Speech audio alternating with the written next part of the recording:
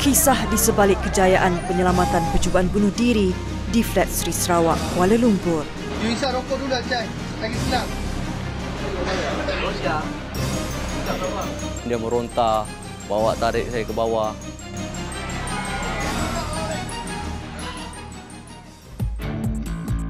Memartabatkan seni lipatan kertas origami.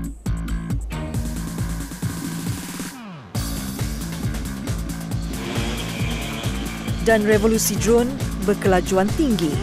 Semuanya paparan minggu ini.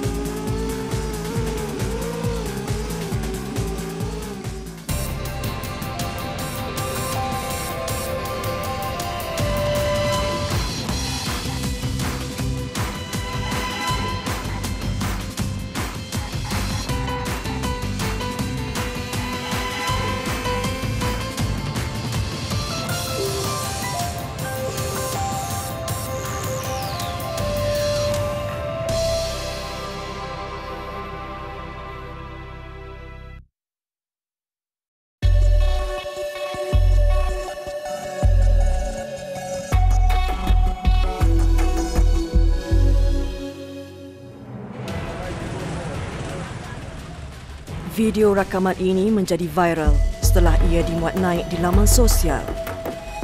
8 September 2015, Flat Sri Sarawak Kuala Lumpur menjadi tumpuan seketika.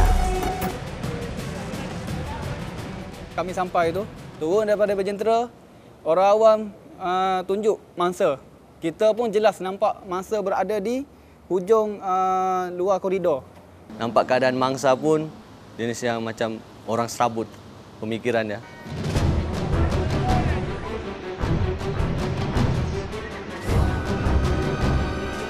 Lelaki berbangsa Cina berusia 20-an ini cuba untuk membunuh diri di tingkat 15 Flat Sri Sarawak, Kuala Lumpur. Tindakannya yang berada pada ketinggian lebih 30 meter menggemparkan lebih 3,000 penghuni di rumah bangsa itu.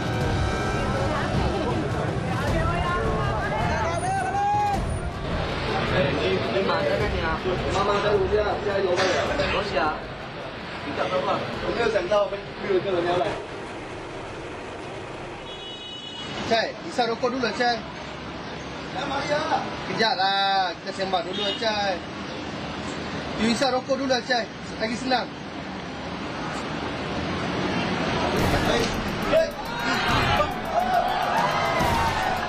Dia meronta, bawa tarik saya ke bawah.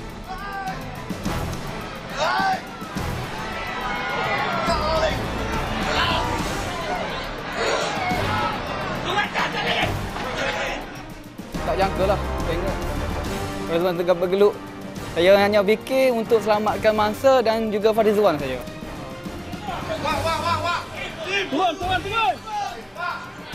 Terus,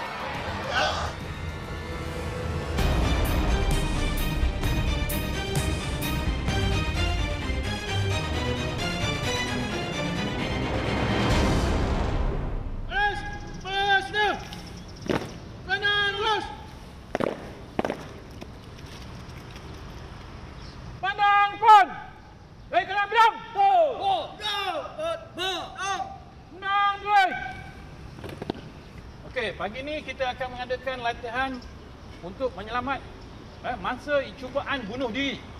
Kita akan guna Ghost Tower ni untuk tempat kita punya latihan. Safety orang yang puyuk mangsa. Paling tidak situ dua orang. Cuma di bawah ni untuk langkah keselamatan kita akan pasang airbag. Kalau dia dia terjun pun dia akan uh, selamat. Okey, untuk ni latihan kita akan buat pagi ni. Semua faham tak? Balas! Balas! Ya! Keluar! Balas!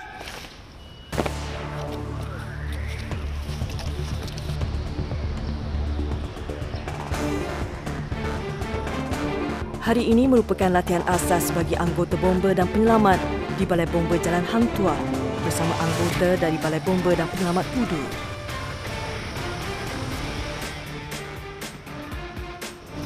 Latihan ini bakal menjadi platform kepada PB Muhammad Farizwan Jumaat untuk mengingat semula segala kemahiran dan kaedah asas yang perlu dikuasai oleh setiap anggota bomba dan penyelamat. Begitu juga dengan rakas tugasnya, PB Al-Hakim Ismail. Latihan tubi ini bagi memperkuatkan motivasi diri anggota apabila melakukan misi menyelamat di bangunan tinggi.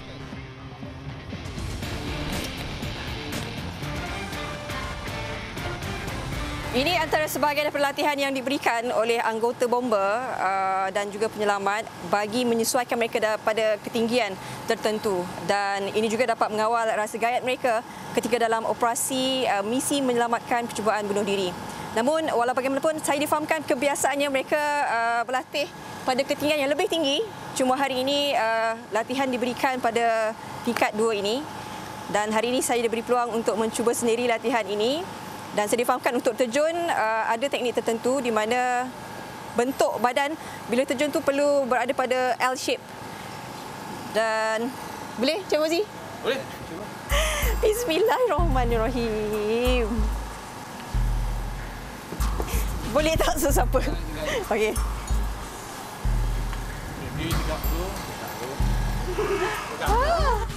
Jangkaan saya silap setelah dikaburi pandangan dari bawah yang memperlihatkan tingkat dua bangunan ini nampak tidak setinggi mana. Namun di saat saya berdiri tegak pada ketinggian itu, kaki terpaku untuk membuat lompatan. Okey. Okey. Weh. Boleh. Macam lompat kata. Tengok kaki, bisa. Ha, lompat ke tak? Lompat. Tak boleh. Boleh.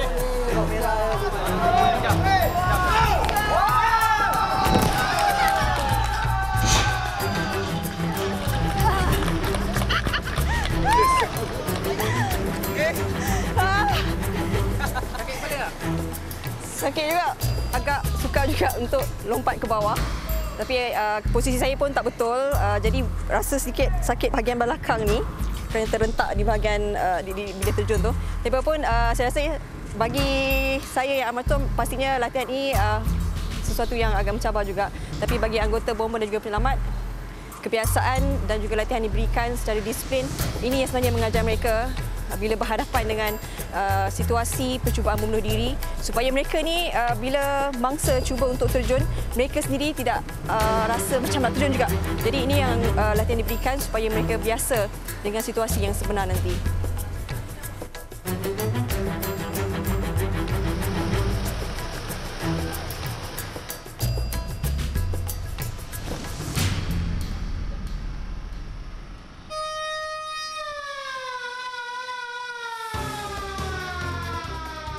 Berdasarkan daripada maklumat tahunan, Balai Bomba dan Penyelamat di Jalan Hang Tuah, Pudu dan Chowkit.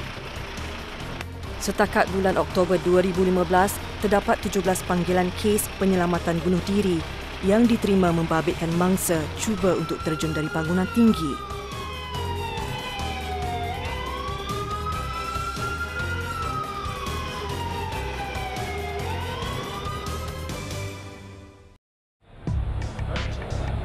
8 September 2015. 4 petang. Balai Bomba dan Penyelamat Kudu agak tenang. Hari itu adalah hari Selasa. Shift bagi pasukan PB Fariswan dan PB Hakim bertugas. Petang itu, mereka berada pada keadaan sedia sekiranya mendapat panggilan kecemasan. Manakala TPGB Azhar Yaakob, Ketua Balai Bomba dan Penyelamat Kudu, sedang melakukan kerja pengurusannya di pejabat. Empat tujuh petang, Balai Bomba dan Penyelamat Pudu menerima satu panggilan. Ini dia, eh? Alamat mana tu, Cik? Flat Sri Sarawak, eh? Okey, ya. Terima kasih, Cik.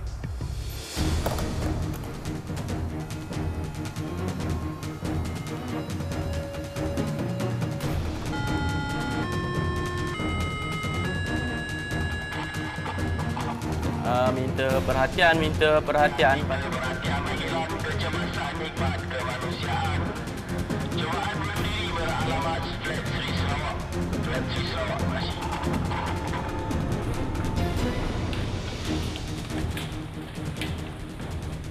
Dapat panggilan kecemasan tu, saya terus keluar ke bilik awasan lah untuk dapat maklumat sama ada panggilan tu dalam kawasan area Pudu ataupun area luar lah. dia berlaku luar kawasan Pudu dan Balai Bomba Pudu ni sebagai bantuan untuk dapat bantuan pada Balai Bomba Hantuah lah. Flat Sri Sarawak terletak di dalam kawasan Balai Bomba dan Penyelamat Jalan Hang Tuah. Namun petang itu, kebetulan kesemua jentera dan anggota penyelamat di balai tersebut telah berada di luar kawasan bagi misi kebakaran dan penyelamatan.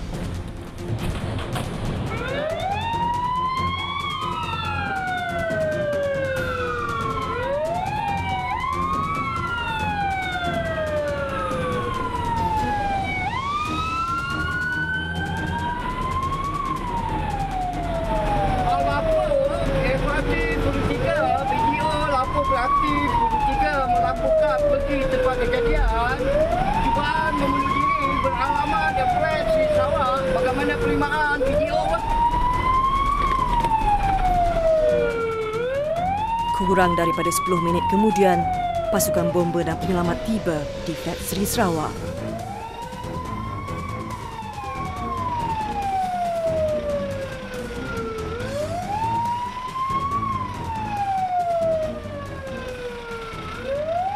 Sampai di tempat lokasi tu memang sampai di kawasan tu memang nampak kawasan tu tinggi. Bangunan tu lah tinggi. Di nampak keadaan mangsa pun jenis yang meronta-ronta. Masa berada di hujung uh, luar koridor. Uh, kita pun rasa ni lah. Oh betul-betul mencabar ni tugas ni. Uh, memang 50-50 lah tugas ni. Misi mencabar bagi pasukan bomba dan penyelamat dari Balai Pudu. Ini kerana ketika itu, mereka hanya mempunyai peralatan yang terhad sebelum bantuan pasukan unit khas bangunan tinggi dari Balai Bomba Jalan Hang Tuah tiba di lokasi. Tanggungjawab berat dipikul oleh Azhar selaku ketua misi ini. Perancangan dan strategi mula diatur berdasarkan kepada keadaan lokasi. Pada masa yang sama, mangsa mula memberi tekanan untuk terjun. Pada peringkat awalnya, saya agak blank lah. Ya. Tak tahu apa patut saya buat. Tingkat 15 mungkin dia punya ketinggian tu lebih pada lebih kurang ada 30 meter. Kalau kita nak pasang net dengan airbag pun saya rasa tak sesuai. Kawasan tu pun sempit dengan adanya awning sekali. Jadi saya rasa tak sesuai. Saya fikir kalau saya pakai airbag kemungkinan mangsa tu tak dapat diselamatkan lah sebab tamunya dia tinggi.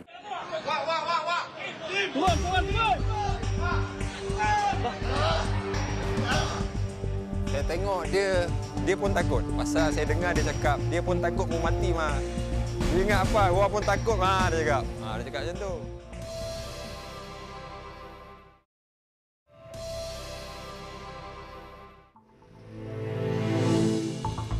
Flat Sri Sarawak, usianya sudah lebih 40 tahun, antara rumah pangsa terlama di Kuala Lumpur.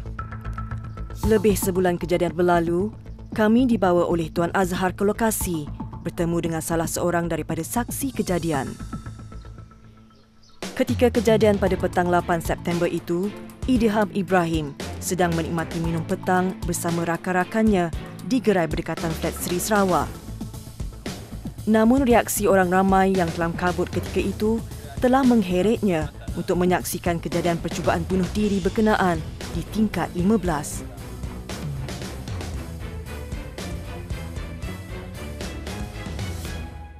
Saya dah ada dekat atas tu. Saya tengok dia dia pun takut. Pasal saya dengar dia cakap dia pun takut mau mati mah. Lu ingat apa? Orang pun takut mah dia cakap. Ha, dia cakap macam tu. Dia kira uh, kalau tak silap saya lebih 10 kali dia kira 10 9 sampai 4 dia berhenti. Lepas tu dia ulang balik.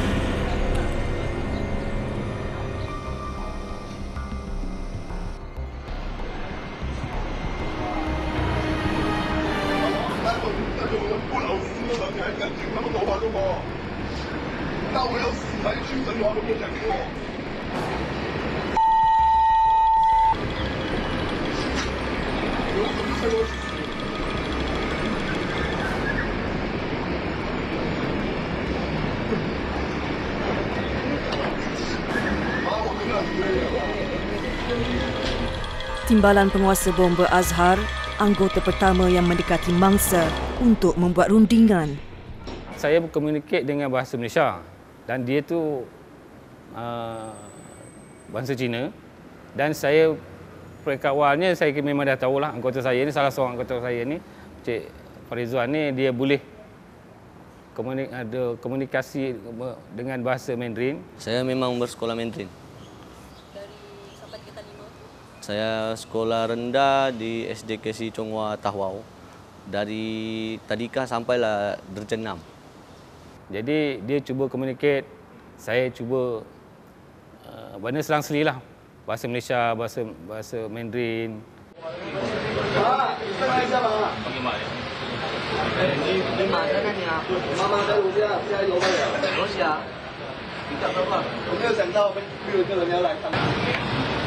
Melalui rundingan yang dilakukan oleh Farizwan, mangsa begitu kecewa dengan ibu dan keluarganya yang dikatakan mengabaikannya dari kecil sehingga dewasa. Farizwan cuba untuk memujuk namun mangsa masih berdegil untuk percubaan bunuh diri. Dan ketika itu, mangsa semakin menghampiri pucuk koridor.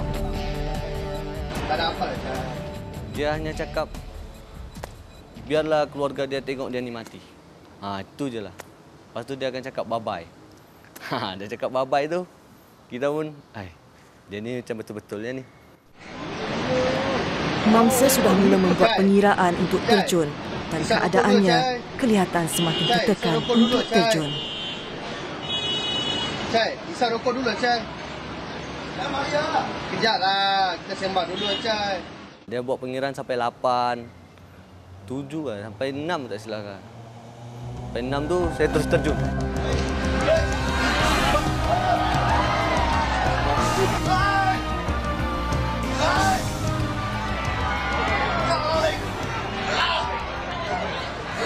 Saya cuba pegang tangan dia orang tu nak tarik ke atas tapi yalah berat Farizwan pun lebih kurang 60 kilo tu 70 kilo. Pemuda pun dalam saya ingat dalam 70 kilo. Mana dah 140 kilo saya nak tarik tangan pun tak mampu tak tak larat. Pergelutan di antara Farizwan dan mangsa kemudiannya dibantu oleh hakim. Namun mangsa masih sedai upaya meronta untuk melepaskan diri.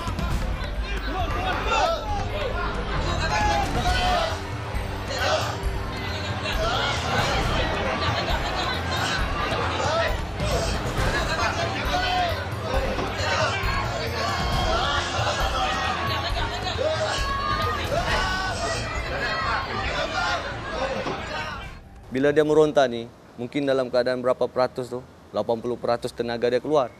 Lepas tu bila kita grip dan cekik keadaan mangsa dekat sini, ni kan, bila dia akan jadi lemah. Bila tertekan sini. Kini harapan disandarkan kepada hakim untuk membawa keluar mangsa dan Farizwan ke zon yang lebih selamat.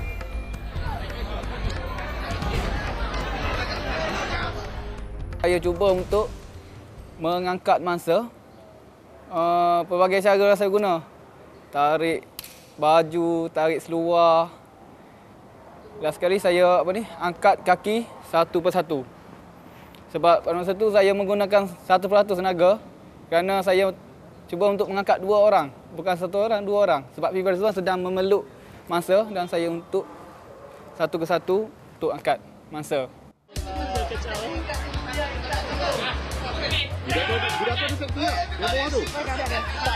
See you second time. Laungan terakhir mangsa sebelum dia berjaya diselamatkan.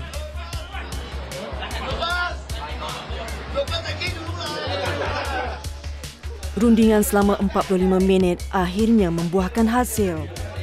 Tindakan pantas dan berani oleh Tuan Azhar, Farizwan, Hakim dan kerja sepasukan yang ditonjolkan seluruh anggota bomba dan penyelamat menjadi faktor kejayaan misi ini. Percubaan bunuh diri di tingkat 15 Flat Seri Sarawak berjaya dipatahkan. Lebih sebulan kejadian, saya dan pasukan di bawah pimpinan Tuan Azhar kembali ke sini. Lokasi yang menyaksikan dua insan sanggup menyambung nyawa demi menyelamatkan seorang pemuda yang mengalami tekanan perasaan. Bila kita sampai petang tu, jadi kita terus pasang line ke sana lah. Jadi yang pasang line tu jadi senarai dia lah. Dia pasang lain dengan jacket nak pasang ankle tu kan. Kat sini? Ha, kat sini dia punya ankle tiang tu lah. Tiang. Hari tu Farizan belah sini. Farizan kat sini? ha, kat sini saya kat sini lah. Sini. ha, sini. Jadi dia pun mas, mangsa kat sini. Jadi saya tunjuk dia dia pun lalai sekejap lompat belakang tu lah. Itu yang Farizan tangkap dia Misi menyelamatkan percubaan bunuh diri pada 8 September lalu merupakan misi keempat Hakim dan manakala Farizwan kali yang ketiga. Namun bagi mereka, tugas yang dipikul pada hari Selasa itu merupakan detik paling cemas sepanjang tiga tahun kerjaya mereka.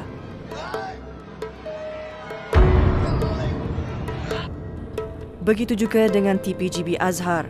22 tahun berkhidmat, ini antara pengalaman yang sukar dilupakan. Apabila saya berada di lokasi kejadian, uh, sebelum ini saya hanya berdasarkan daripada uh, video rakaman uh, oleh Jabatan Penghubung dan juga Khidmat Malaysia. Yang saya lihat uh, bagaimana tempat mangsa untuk uh, mencukup bunuh diri itu keadaannya begini. Tetapi bila saya lihat di bawah ni, rupanya dia agak curam. Curam begini dan uh, bayangkan bagaimana pergelutan itu berlaku ketika uh, misi menyelamat berada di sini dan uh, ia sesuatu risiko yang tinggi kepada uh, anggota bomba terutamanya uh, Farizwan dan juga Hakim ketika itu dan dibantu oleh Tuan Azhar. Saya bila berada di tepi ni pun saya dah rasa gaya. Uh, saya cuma tak sangka keadaan sebenarnya agak curam sebegitu.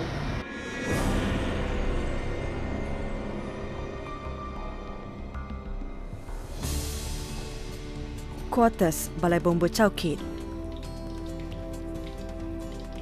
Hakim berusia 23 tahun. Anak ke-10 daripada 11 adik-beradik ini berasal dari Kuala Krai, Kelantan. Manakala Farizwan berusia 22 tahun berasal dari Tawau, Sabah. Disiplin dan semangat yang tinggi, Farizwan kini masih menuntut di Universiti Utara Malaysia di Kuala Lumpur bagi mendapatkan ijazahnya. Hakim dan Farizwan bukan hanya rakan seperjuangan, bahkan merupakan rakan serumah. Kejadian pada 8 September lalu bukan hanya menyaksikan misi menyelamatkan mangsa. Sebaliknya, misi seorang sahabat yang sanggup menggadai nyawa demi persahabatan dan perjuangan yang sama.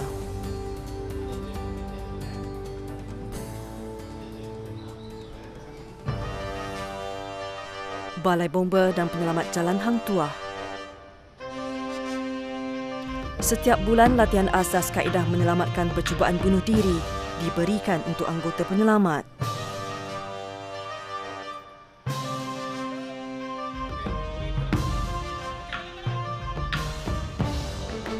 Hari ini, pegawai bomba tertinggi Muhammad Puzi Ismail, anggota berpengalaman 37 tahun sebagai bomba dan penyelamat, ditugaskan untuk mengendalikan latihan kerjasama ini.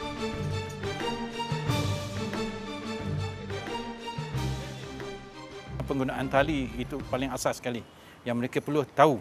Kemudian uh, uh, asas sekali ialah uh, latihan konseling untuk mangsa. Tujuannya untuk memujuk dia. Itu kita akan beri juga.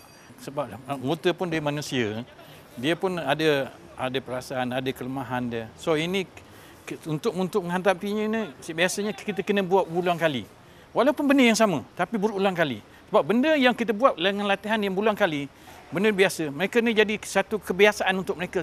Saya boleh bertindak secara automatik bila keadaan memerlukan dia. Kaki dia buat. Terus tolak ni. Mana tolak? Kaki ni tolak. Ni, kaki ni tolak. Lepas, jangan. Mari, jangan lepas. Pada 2014, sebanyak 31 kes percubaan bunuh diri direkodkan di Kuala Lumpur. Manakala pada tahun 2015, jumlah setakat ini ialah 12 kes.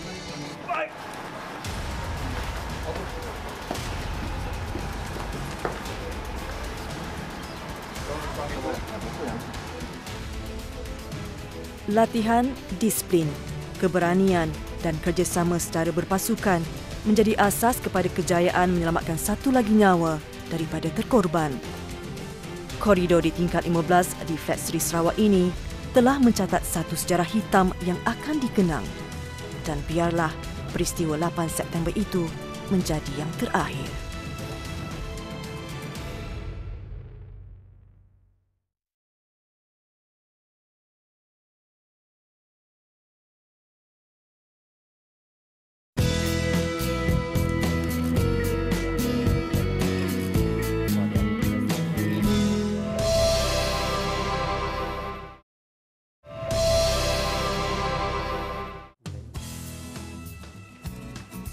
Dari sekeping kertas, ia dilipat membentuk objek yang cukup mengagumkan. motivate the younger generations to for their interest in origami.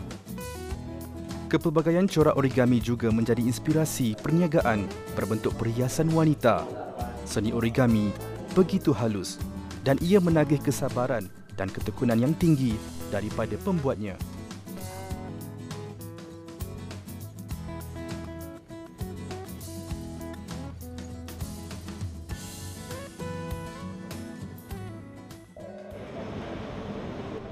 Damansara Perdana, Kuala Lumpur. Hujung minggu menjadi waktu istimewa buat dua orang rakan bayi ini.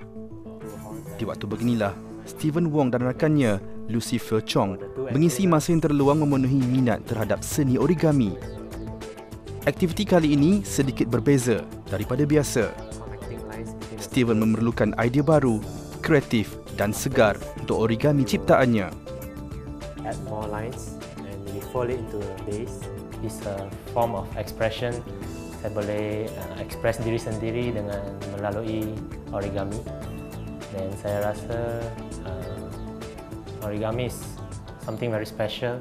Uh, dari satu kertas yang two dimension dia jadi three three dimension. Sebagai rakan yang memiliki hobi dan minat yang sama, Steven dan Lucifer sentiasa berkongsi mengenai ilmu origami. Seni yang berasal dari Jepun ini menjadi minat yang berkembang di dalam diri Steven sejak di awal usia lagi.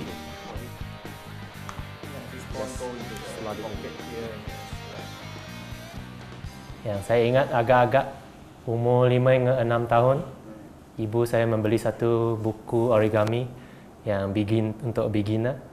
Uh, saya rasa dari situ minat saya bermula kepada origami. Alright. Hari ini mereka berdua ingin menyiapkan beberapa bentuk origami untuk sebuah pameran. Steven yang telah mahir di dalam seni origami seringkali menghasilkan bentuk yang kompleks. Segalanya bermula setelah dia menginjak usia remaja. Pada waktu itulah, kemahirannya diperluaskan menerusi beberapa sumber.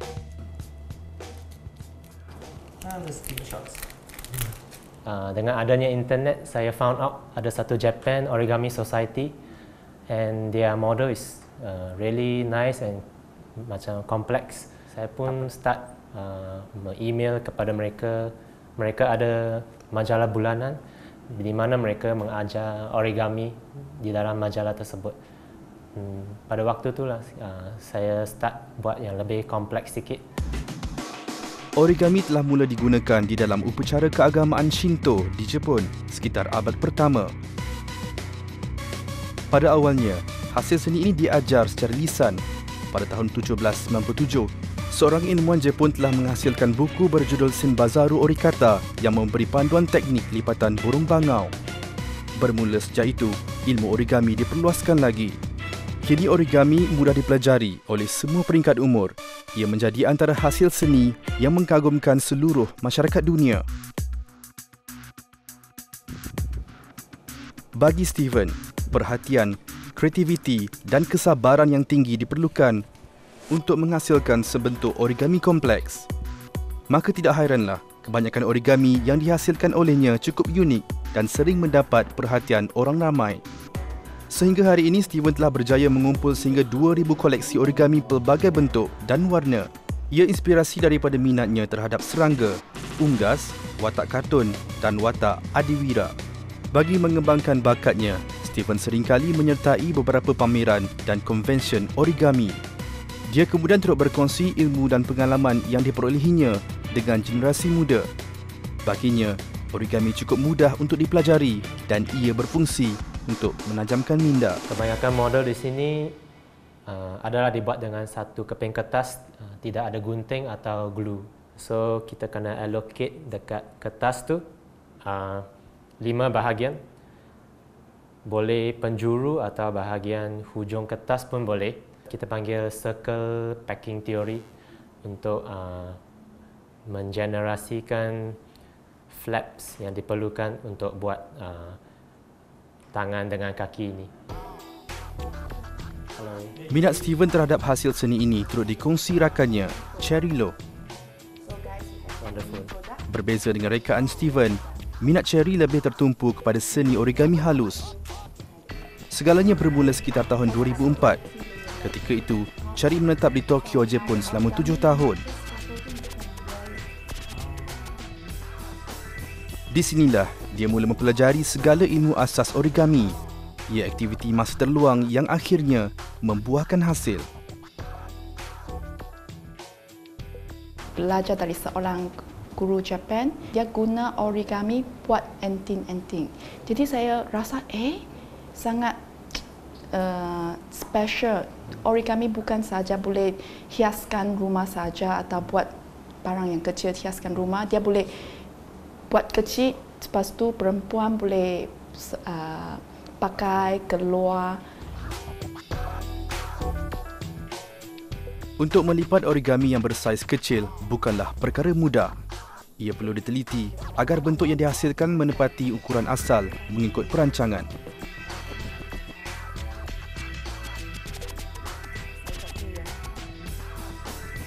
Uh, saya buat kena kertas 4 cm tapi memang guna itu uh, jari jari saja yang buat saja. Kalau lipat ya. kecil nak align sangat uh, susah. Jadi uh, nak patient buat ia bagi dia lebih cantik sikit. Bermula daripada hobi di waktu terluang, kini hasil seni ini menjadi sumber pendapatan sampingan. Hasil kreativitinya telah menghasilkan Unigami, jenama barangan perhiasan wanita Banyak orang tanya, eh you boleh jual bagi saya? Lepas tu saya buat yang satu saja, saya sangat uh, tak mahu jual lah kerana ini untuk display saja. Lepas tu saya fikir, eh sekarang ada banyak orang nak beli, why not saya boleh ada masa saya buat yang banyak sikit. 你知唔知 after 接咗系咪你 paint 咗系咪？ Perjuangan Kenneth Ching bagi memartabat seni origami di Malaysia masih jauh. Namun dia berazam ingin menyubur minat ini ke semua peringkat umur. Uh, origami di Malaysia dia adalah pada permulaan saja. Ada banyak orang dia sangat berminat dalam uh, origami. Tapi masalah mereka face adalah mereka tak tahu mana boleh dapat itu informasi. Dia sering dijadikan rujukan oleh artis-artis seni origami yang sering melawatnya. Kenneth digelar Origami Guru of Malaysia bersandarkan kepada pengalaman luasnya meneroka bidang ini. Untuk sampai tahap itu tak begitu uh, senang kerana uh, nak tahu banyak teori dan nak praktis sangat-sangat banyak kali.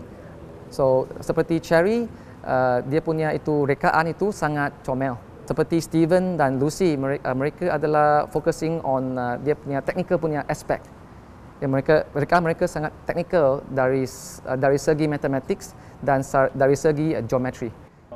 Dalam tempoh 10 tahun penglibatannya Kenneth telah menganjurkan lebih 700 acara di dalam dan luar negara. Kejayaan terbesarnya adalah merealisasikan pertubuhan origami Malaysia. Terbaru pameran seni lipatan kertas berjaya dianjurkan buat pertama kali di Malaysia. Kita harap melalui uh, struktur begini, kita boleh uh, encourage lah, boleh mengalahkan uh, generasi yang muda untuk uh, melibatkan sendiri dalam uh, bidang origami.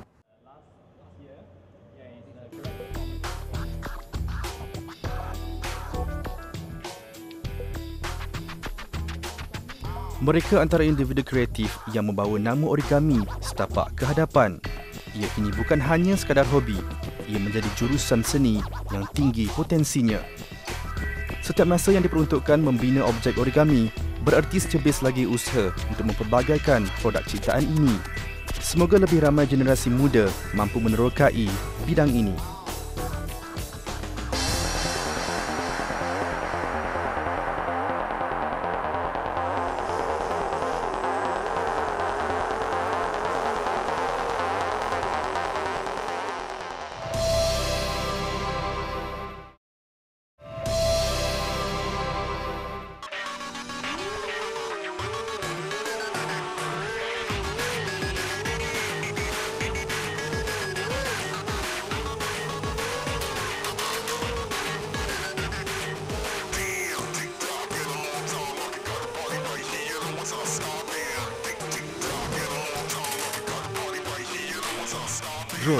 Hobi yang kian mendapat tempat dalam masyarakat. Ia biasanya digunakan untuk tujuan penggambaran. Hari ini, penggunaannya sedang mengalami satu evolusi. Kini, ia menjadi satu jenis sukan baharu.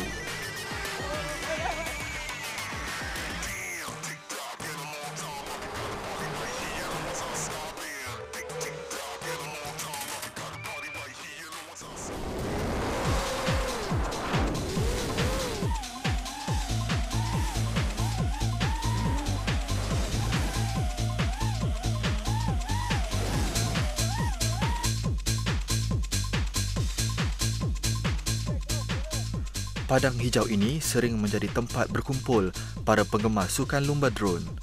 Tidak sampai sejam berada di sini, kelihatan begitu ramai pemilik drone tiba dengan pelbagai rekaan. Mereka sedang membuat persiapan terakhir.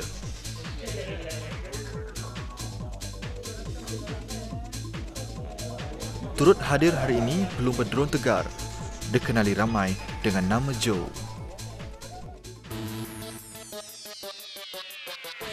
Saya Syahjuhan bin Mak. Uh, saya berumur 32 tahun. Berasal daripada Bagan Datuk Perak. Pada 27 September lalu, dia merangkul pingat juara kategori 250 dalam pertandingan Area Grand Prix Malaysia. Sebelum aktif dalam perlumbaan drone, Joe sudah melibatkan diri dalam hobi gadget kawalan jauh selama 5 tahun. Menurutnya, inspirasi untuk berlumba berputik daripada visual drone pelumba luar negara.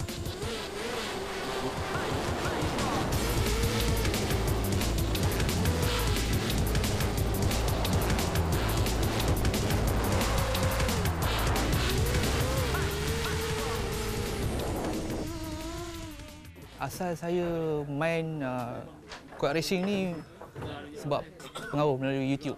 Tengok YouTube tu dia selit-selit-selit pokok. Kelajuan drone lumba boleh mencecah sehingga 80 km sejam. Reka bentuknya yang kukuh membantu ketahanan drone untuk menyambung penerbangan sekiranya ia terlanggar halangan.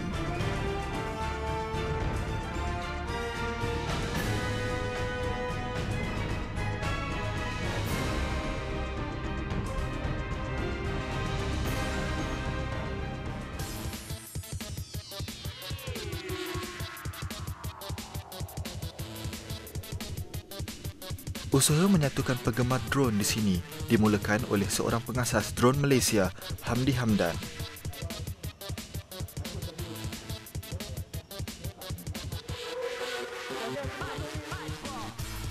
Dia juga penggemar hobi gadget kawalan jauh sejak hampir 10 tahun. Sebab masa tu masih tengah main helikopter. So nampak benda ni macam senang nak main. Lepas tu dia multi rotor, dia banyak kipas senang nak kendalikan, tak pening-pening kepala. Lepas tu ada GPS system, benda tu pun boleh hover macam tu. So something yang saya minat kat situ, so, tu yang melekat kat situ. Sehingga kini, bilangan pelumba drone dianggarkan kira-kira 300 orang. Menurut Hamdi, aktiviti ini mula aktif sekitar 2 tahun lalu. Drone Malaysia ditubuhkan uh, early 2013 sebab masa tu ada juga kelab-kelab tapi tak tak begitu aktif. Tapi kita punya objektif actually untuk kita share knowledge lah. Apa benda-benda macam ni mengeratkan kata orang tu silaturahim lah. Mana kita lagi ramaikan kawan.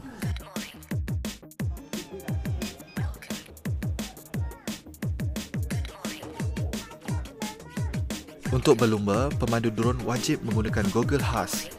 Ini memberikan mereka pandangan langsung terus daripada bahagian depan drone yang dipandu. Bila Google ni, guna Google ni dia lain sikit dia punya pandangan dia berbanding kita fly loss. Fly loss ni uh, line of sight. Maknanya kita tengok kuat tu berjalan macam tu je. Banding kita pakai Google. Bila pakai Google ni dia punya pandangan dia tu lain.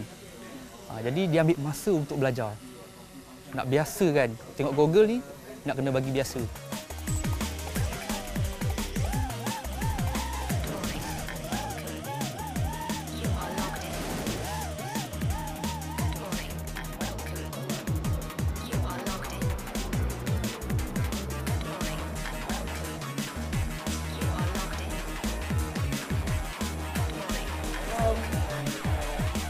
Hobi kegemaran Joe dan Hamdi tidak memerlukan penyelenggaraan yang tinggi.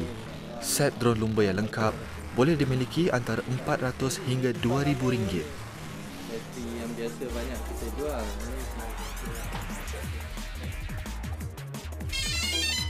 Di masa lapang, Hamdi akan mengkaji dengan lebih mendalam operasi drone-nya. Berdasarkan rujukan daripada sumber internet dan rakan-rakan, dia lebih selesa untuk membaiki drone-nya sendiri.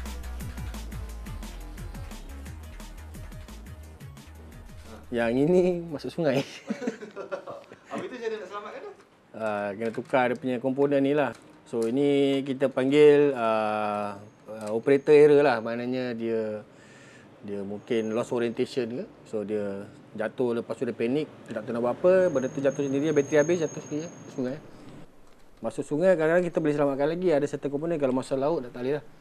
Sebab masuk laut dia kering tu karat kan. Sebab dia air masin kan. Keselamatan adalah aspek penting bagi pemandu drone. Itu perkara yang sentiasa Hamdi titik beratkan kepada rakan-rakannya.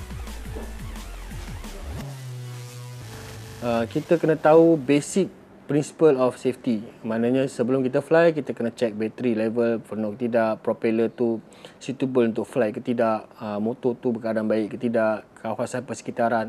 Semua kita ambil ambil kira. Kebanyakan lah saya nampak yang kita perasan uh, yang orang yang baru nak cebur bidang ni, dia orang excited. Uh, maknanya beli-beli fly.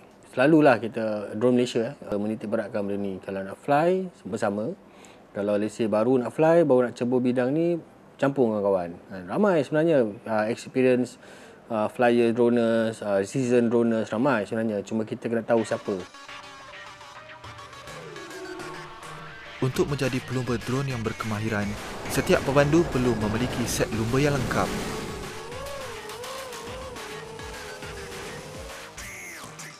Uh, basic quad racing, dia punya equipment dia.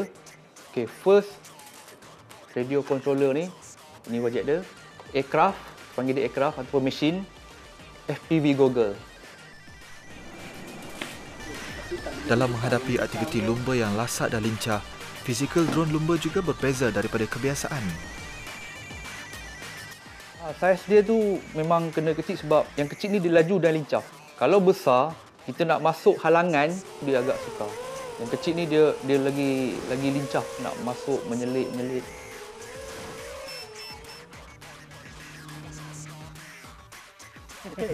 Ready to arm. Memandu drone dengan laju di udara memberi kepuasan berbeza kepada Joe berbanding aktiviti alat kawalan jauh yang lain. Cara kita mengawal tu, kita ambil corner, masuk uh, air gate semua tu, itu yang sonok tu. Tak langgar sana, tak langgar sini, tak crash.